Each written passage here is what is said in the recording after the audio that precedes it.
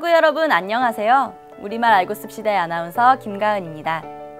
꿀맛 같았던 긴 연휴가 지났는데요. 학우 여러분은 즐거운 연휴 보내셨나요? 어느샌가 주위를 둘러보니 감나무가 주홍빛으로 물드는 완연한 가을이 온 것 같습니다.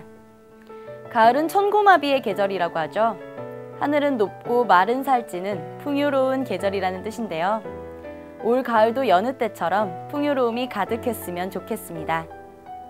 오늘 우리말 알고 씁시다는요. 모양새가 비슷해 헷갈리기 쉬운 단어들을 살펴보도록 하겠습니다. 상근아, 그 소식 들었어? 응? 무슨 소식? 싸이의 강남 스타일이 빌보드 차트 2위에 올랐다던데? 아 진짜? 요새 한류 열풍이라더니 진짜 대단하다 그치? 한류가 확산되는 걸 보니까 우리 문화가 성장했다는 걸 방증하는 것 같아. 반증? 우리 문화가 성장하지 못했다는 건가?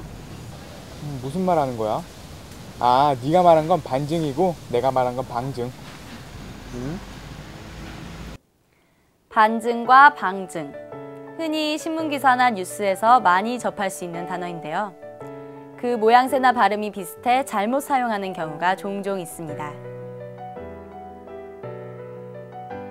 먼저 반증은 어떤 사실이나 주장이 옳지 아니함을 그에 반대되는 근거를 들어 증명하는 것 또는 그런 증거 자체를 말합니다.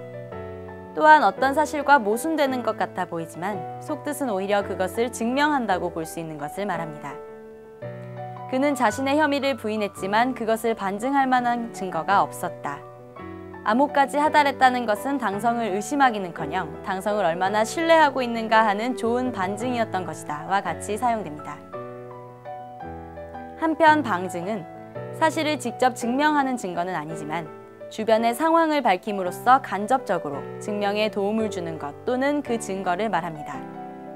무엇보다도 선생님의 해박한 지식을 방증하는 듯한 풍부한 예화와 같은 예를 찾아볼 수 있습니다. 회장 사무한테도 단단히 찍혔다면서요. 뭐 삼류 브랜드 실장급이라면 모를까. 그래가지고는 살아남기 힘들죠. 홀몸도 아닌데. 이젠 주제 파악 정도는 하고 사셔야지.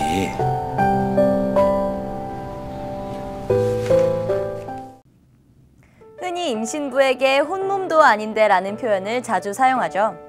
그런데 막상 사용하려고 하면 혼몸과 홀몸, 헷갈리시는 경우가 많이 있는 것 같습니다. 앞에서 보신 화면과 같이 간혹 TV 속에서도 잘못 사용되는 때가 있는데요. 아이를 뵌 임신부에게 말할 때는 혼몸이 맞습니다. 혼몸은 딸린 사람이 없는 혼자의 몸이라는 뜻과 아이를 베지 아니한 몸이라는 두 가지의 뜻을 가지고 있습니다.